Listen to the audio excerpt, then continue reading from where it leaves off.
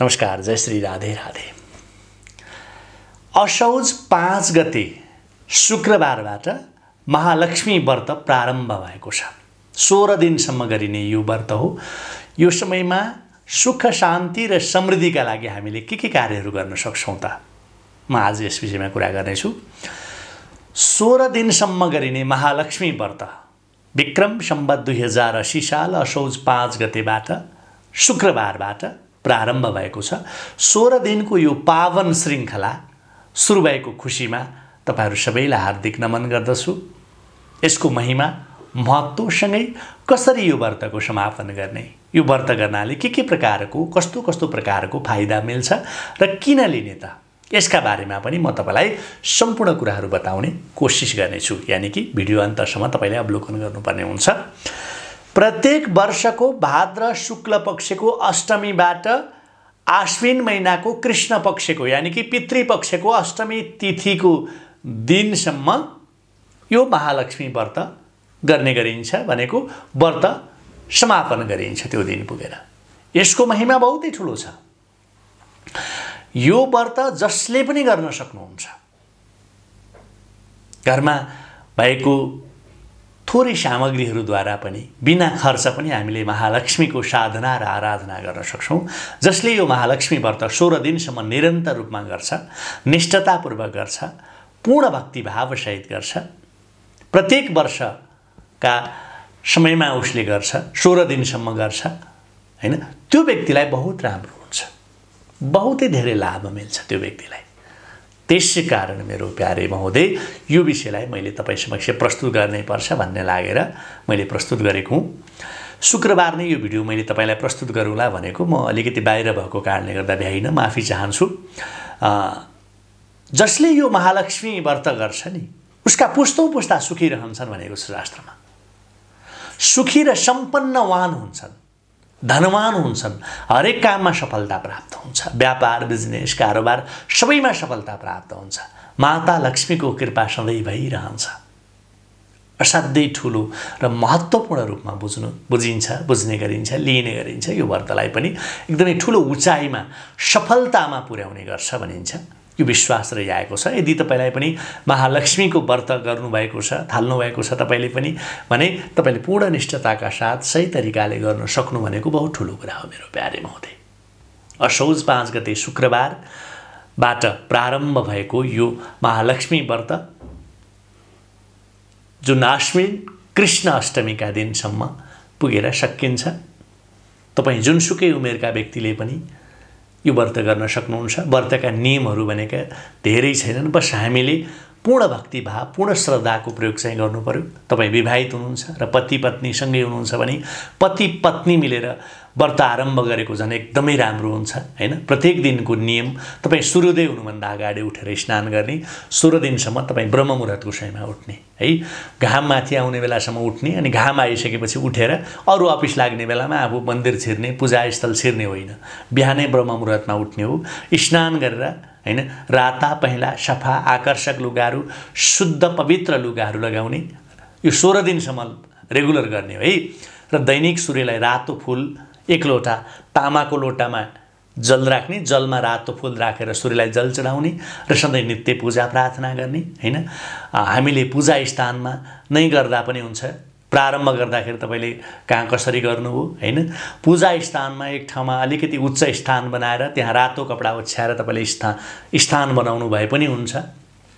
पूजा स्थानमै पनि गर्न सक्नुहुन्छ र त्यसपछि तपाईँले काँचो धागो तयार पार्ने त्यो पछाडि माता लक्ष्मीको फोटो वा मूर्ति जसमा होइन हात्ती साथमा भएको कमलमा बस्नुभएको लक्ष्मीको फोटो मूर्ति भयो भने अझ एकदमै राम्रो हुन्छ र प्रत्येक दिन विधिपूर्वक तपाईँले महालक्ष्मीको पूजा गर्ने सोह्र दिनसम्मको लागि कलश स्थापना गर्ने र सोह्र दिनसम्म सोह्र सुते बाती काटेर दियो बाल्ने बिहान बेलुका गर्ने। है र त्यसपछि हातमा जल कुश होइन फुल राखेर तपाईँले सङ्कल्प गर्ने।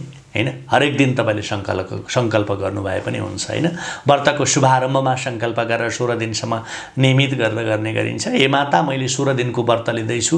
हाम हाम्रा ऋणहरू हाम्रा क्लेशहरू हाम्रा कष्टहरू हाम्रा दुःखहरू हाम्रा समस्याहरू निदान गरिदिनु भनेर तपाईँले व्रतको प्रारम्भमा भनेको शुक्रबारका दिन गरेको भए राम्रो हुन्थ्यो। अब त्यो समय चुकिसक्यो भने पनि तपाईँले दैनिक रूपमा है मैले हरेक दिन तपाईँको अथवा माता लक्ष्मीलाई म हजुरको व्रत गर्छु।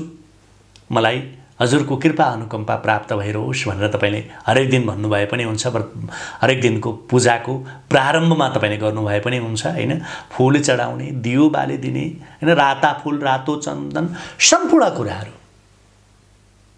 होइन? चढाउने दियो दाहिनेतिर राख्ने घिउमा वा तिलको तेलमा राख्ने होइन? दियो बाल्ने सम्पूर्ण कुराहरू तपाईँले चढाउने पूजाको नियमअनुसार तपाईँले गर्न सक्नुहुन्छ। फलफुल चढाउने जसले यो व्रत लिनुभएको छ त्यो व्यक्तिले एक हात जति काँचो धागो चाहिँ राखिराखेको राम्रो र त्यो धागोमा तपाईँले सोह्रवटा गाँठा पार्ने हो।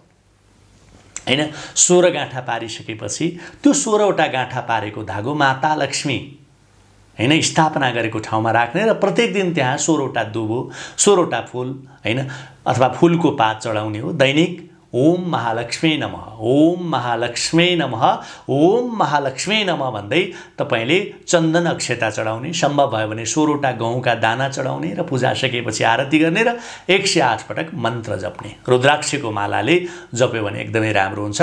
ओम श्रीम ह्रीम श्रीम कमले कमलाय नमः। अथवा ओम श्रीम ह्रीम श्रीम कमले कमलाय प्रसिद्ध प्रसिद्ध ओम श्रीम ह्रीम श्रीम महालक्ष्मी नम।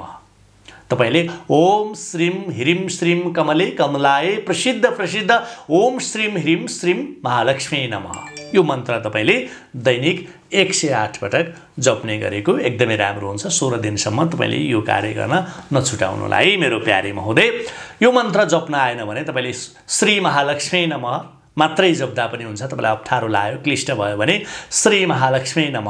तपाईँले यति मन्त्र जप्नुहोला दैनिक एक सय आठ पटक। होइन अब समापनको दिन सोह्र दिन पुगिसकेपछि तपाईँले विशेष ख्याल के गर्नुपर्ने हुन्छ भने सम्भव भएसम्म गुरु पण्डित पुरोहित बोलाउनुहोस्। सम्भव नभए आफै पनि गर्न सकिन्छ। सोह्रवटा ल्वाङ सोह्रवटा इलाइची सोह्रवटा सुपारी सोह्रवटा मिठाई सोह्रवटा फल सोह्रवटा महालक्ष्मी व्रत कथाका किताब तपाईँले दान गरेको बहुत राम्रो हुन्छ। यो सोह्र दिनको महालक्ष्मीको व्रत सकेपछि माता लक्ष्मीको व्रत सकिसकेपछि सोह्रवटा साडी सोह्रवटा रुमाल जे सकिन्छ तपाईँले सोह्र सोह्र गरेर दान दिनुहोस्। सजिलो उपाय छ ती सबै सोह्रवटा सामान माता लक्ष्मीलाई चढाउने र दान गर्ने हो। व्रतको समापनका दिन र माता लक्ष्मीलाई मेरो व्रत पूजाबाट खुसी भइदिनुहोस् प्रसन्न भइदिनुहोस्। भनेर मैले जति जाने मेरो हैसियत अनुसार मैले जसरी जाने त्यसरी गरेँ भनेर प्रणाम गर्नुहोस् र मबाट कुनै भुलचुक भए मलाई माफ गरिदिनु होला भन्ने र सोह्रवटा गाँठा पारेर राखेको जुन धागो हुन्छ नि त्यो आफ्नो गलामा धारण गरेको राम्रो हुन्छ। है यसरी सामान्य तरिकाले पूजाको समापन गर्ने विशेष गरी पति पत्नी मिलेर श्रीमान श्रीमती मिलेर गरेको अझ राम्रो हुन्छ। परिवारमा सुख शान्ति र समृद्धि बनिरहन्छ। घरको दुःख कष्ट निवारण भएर जान्छ। बस पूर्ण शुद्धताका साथ पूर्ण भक्तिभावका साथ तपाईँले यी कार्यहरू गर्नुहोला भन्ने अर्थमा मैले अलिकति ढिलो भए पनि तपाईँका लागि यो भिडियो प्रस्तुत गरेको छु। पूर्ण विश्वास पूर्ण भक्तिभावका साथ माता लक्ष्मीको आराधना गर्न नछुटाउनुहोला भन्दै यतिन्जेलको महत्त्वपूर्ण सात र समय भिडियोका लागि दिनुभएकोमा हार्दिक आभार व्यक्त गर्दै अर्को भिडियोमा भेट्ने बाचा गर्दछु। अहिले बिदा पाऊँ। जय होस्।